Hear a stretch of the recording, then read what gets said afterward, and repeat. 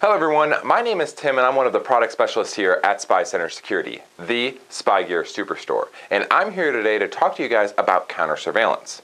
This guide will help make sense about what bug detectors actually are and how they work. I will also go over the reasons why there are so many and how they are not created equal. A bug detector is a general term about a device that will help locate something that may be spying on you. This could be a microphone that listens in, a camera that views your every move, or even a GPS tracker that could be tracking your vehicle.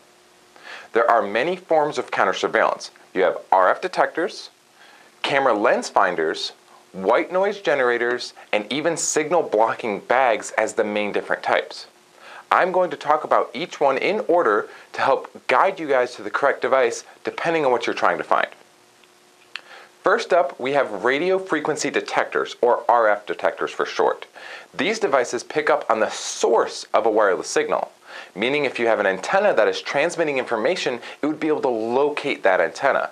The easiest way to visualize this is to think about how a metal detector works. The closer you are to a piece of metal, the device will beep.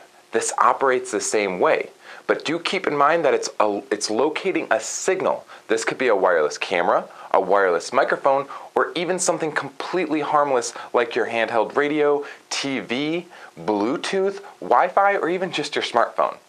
This is where RF detectors start to separate themselves and you can see a large difference between them. Higher end RF detectors, such as this one, have the ability to distinguish one signal from another that they are detecting. A really good example of why and how this is useful is say you're doing an RF sweep in a high rise building and the RF detector you're using starts to indicate there's a strong signal nearby. After some intense searching, you realize it's just a Wi Fi extender from the floor below you that is skewing the results that it's detecting.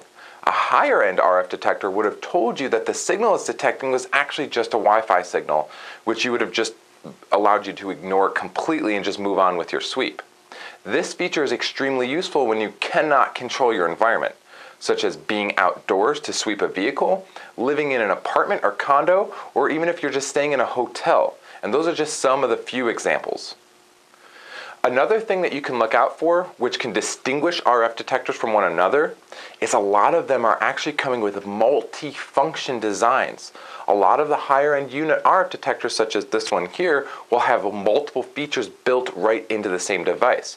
So it would have the ability to say not only detect RF signals, but produce white noise to secure a conversation, or this one even has a uh, camera lens finder built right in. Now, no two RF detectors are built the same uh, and have the same multifunction use, so it's really up to you to find the features that would help your unique situation. Now, I would recommend watching the video located on each product page on our website for each one of our counter surveillance products to get the best idea of what features and how it can help you. The last thing that can set RF detectors apart is their detection range. This simply means how many different signals they can detect. You can find this information in the spec sheets or feature section on our website.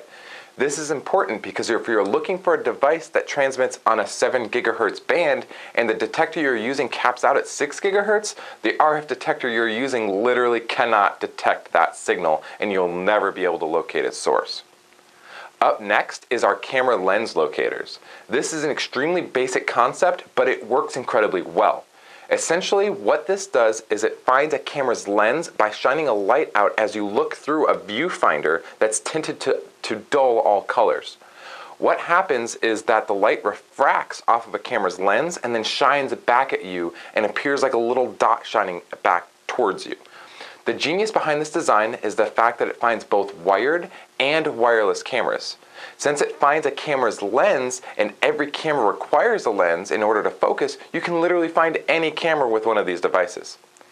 If you want to know more or see a demonstration of how it works, take a look at the product page for this product under the counter surveillance section. White noise generators produce noise to confuse audio recorders. This could be a bunch of recordings played on top of each other to blend in with your conversation, or simply static noise that is louder than the spoken word. These devices are designed to conceal and keep your conversations private. To know more about them and to see a demonstration on how they work, take a look at the product video demonstration on the product page under counter surveillance. Lastly, we have signal blocking bags. When you place your phone into this bag, it prevents any and all signals getting to and from the phone. Why would you want to do this?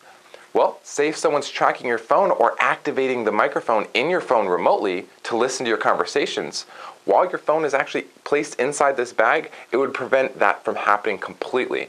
Now keep in mind, while your phone is in the bag, it also will prevent you from using the phone or sending or receiving messages like phone calls or text messages.